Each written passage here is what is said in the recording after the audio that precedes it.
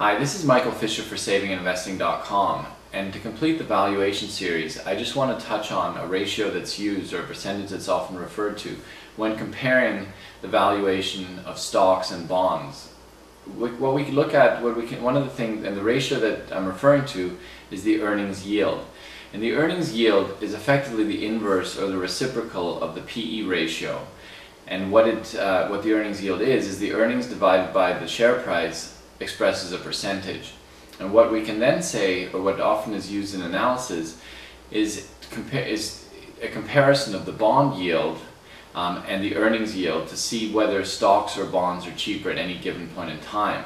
Now earnings have a lot of drawbacks as we know. They are affected by accounting um, terms such as depreciation, amortization. They only look at one year. But what the earnings yield aims to do is it aims to express as a percentage the, the earnings um, that the company generates for each dollar that we invest in its share price. So for example, um, a PE ratio of 10 would give us an earnings yield of 10% um, because um, I'm using very easy numbers because 1 over 10 times 100% is 10%.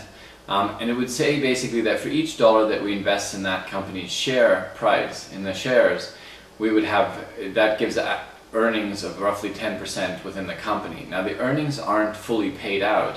As we know, there's a payout ratio and the amount that we receive is referred to as the dividend um, and that the actual cash that we receive in the firm form of the dividends divided by the share price is the dividend yield.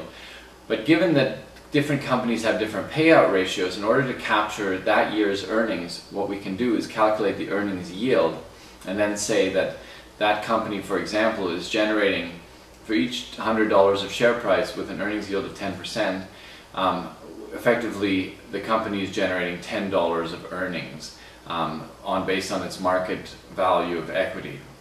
And what analysts sometimes do is they say that if the bond yields are bonds are yielding 6% and the stock market, the S&P 500 in aggregate has an earnings yield of 9%, then perhaps uh, stocks are more attractive than bonds.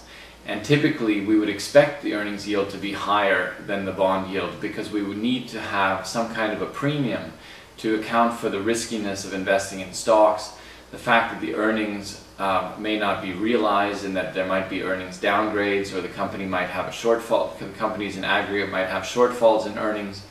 Um, but I just wanted to touch on the concept of the earnings yield, which effectively is the inverse of the PE ratio. In other words, it is the earnings divided by the share price expressed as a percentage. Uh, in other words, multiplied by 100%. So if we have earnings of 2 and a share price of 10, the earnings yield would be 20%. And again, those are earnings that the com company generates. They're an accounting term, largely, um, and they're not earnings that we as investors realize. What we, what we get is the dividend that's paid out, plus potentially any share price appreciation. But what the earnings yield does do, it gives us a sense for how much earnings is generated with each dollar that's invested in the share price of the company and often is used to compare the cheapness of a stock market, for example, with the bond market by analysts.